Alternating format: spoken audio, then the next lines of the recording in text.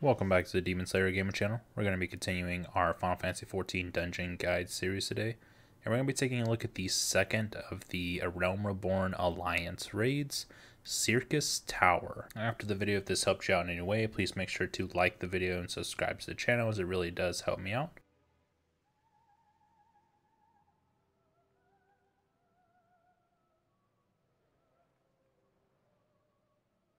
Starting off, you can either go left or right, but you'll just want to be proceeding up the stairs.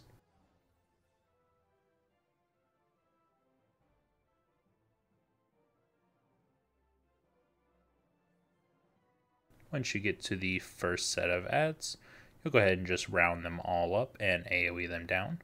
Usually you'll want to try to face them away from the rest of the group but make sure you're getting any of the stragglers because they don't all come in one pack. So make sure that you're going over and picking up all the shinobis and kunoichis. The yellow dragon can do AoE damage, but there's not really much to worry about here.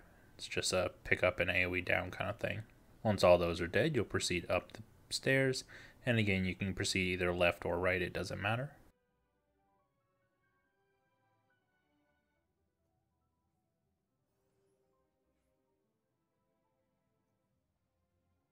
The first boss is going to be Scylla.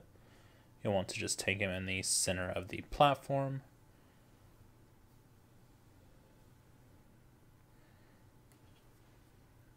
He can do Topple, which is a circular AoE around him, but it doesn't do very much damage, so it's almost not even worth moving out of.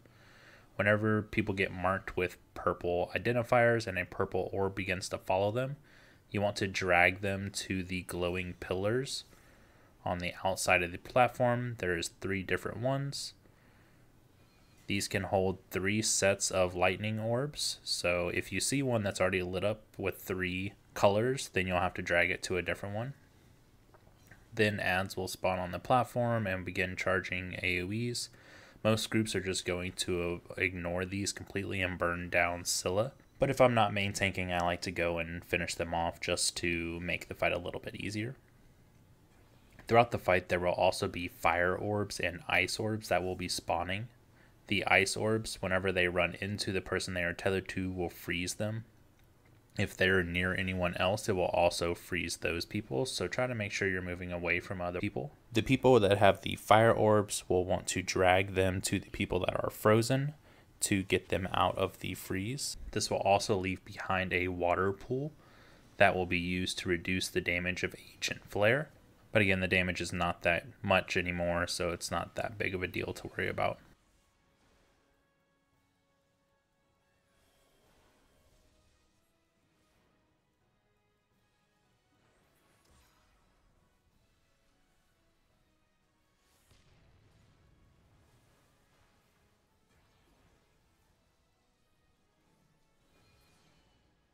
After finishing them off, you'll just proceed up the stairs.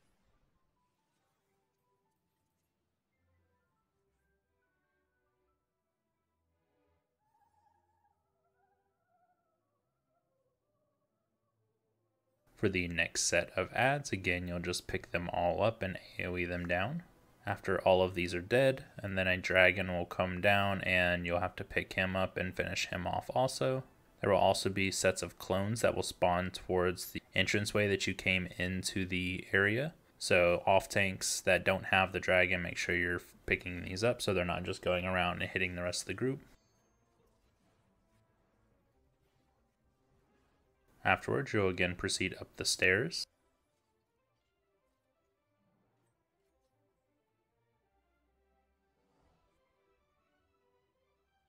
and then use the jump pad to go to the second boss. For the second boss, he's become so trivial that everyone will just burn him down. There isn't very many mechanics that you need to watch out for either.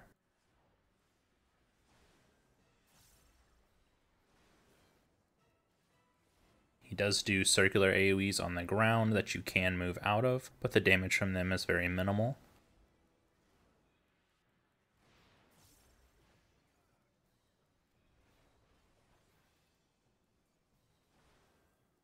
His cone AoE is very easy to move out of also as it's very small.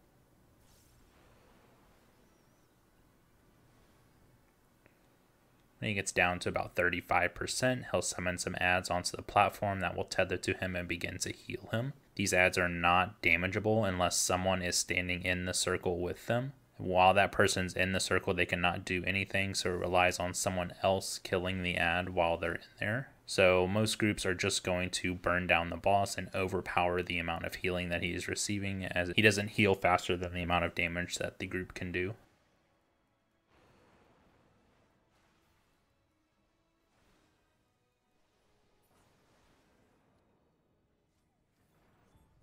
Proceeding up to the stairs will bring you to the next set of ads.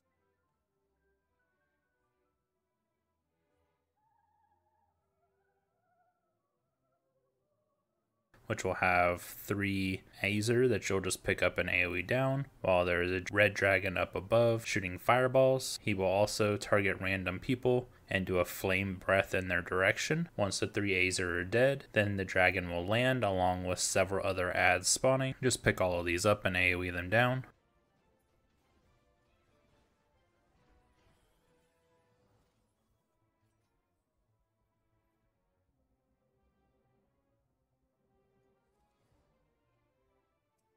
So bring you to the third boss, Amon. This boss does have a one-shot mechanic, so even now you will need to pay attention to at least one mechanic. He does have several AoEs, so you'll want to keep him facing away from the group if you're tanking him. Anytime the ads spawn onto the platform, you'll want to kill them as quick as possible. The experimental byproducts will just begin walking towards Amon. You want to kill them before they reach him, otherwise they'll explode. The Kums are going to go after random people and they do AoEs. Shortly after they spawn, then several people also spawn orbs that will begin walking towards them. You can walk these into the Kums and it will minimize them, reducing their damage and increasing how much damage they take, which will make killing them a lot quicker.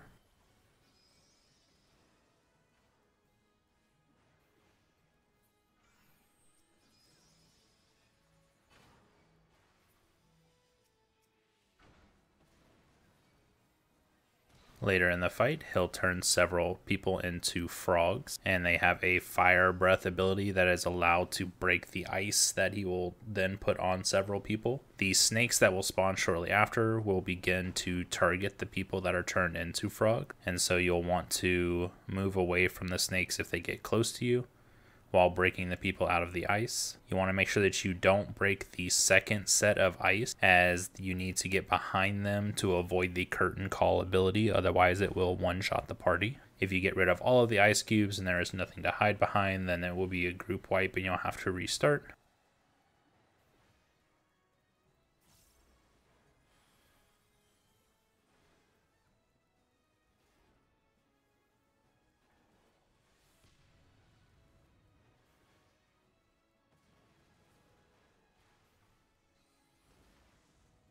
After Amon, though, you'll proceed straight towards the final boss.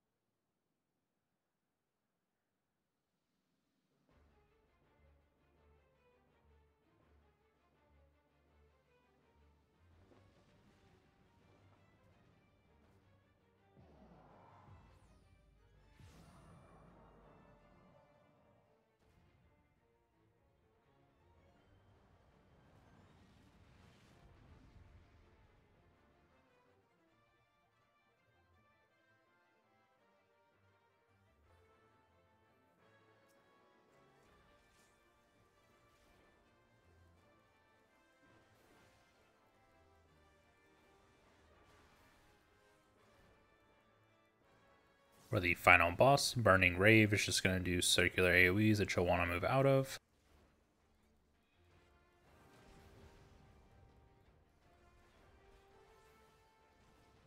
When he summons the yellow orbs on the platform, then you'll have to have one person in each of the circles.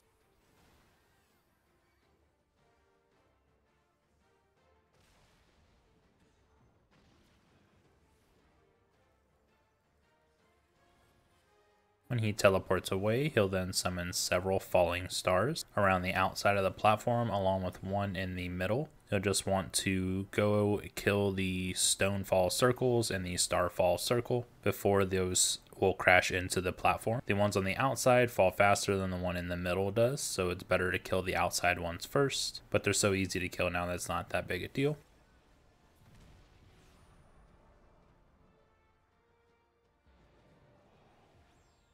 He'll then do three separate group up mechanics that these are not like the, the more recent expansions that you need to split them up. You can actually group them all up. Afterwards, it'll put a AoE on the ground that you'll need to be standing in to avoid the Ancient Quag, which will kill you if you are on the ground whenever he casts it. He'll then do a few AoEs before teleporting away again.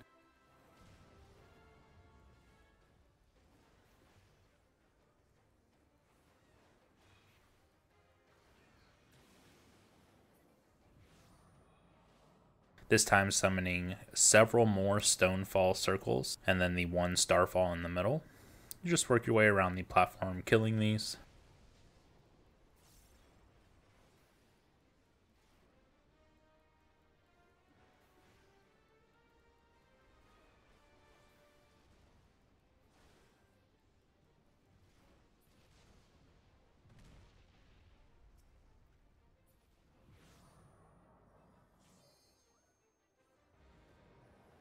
He'll come back to the platform doing the three group up mechanics one more time. Again, make sure that you're standing inside of the AoE so that you are put into the air so that the Ancient Quag afterwards does not kill you.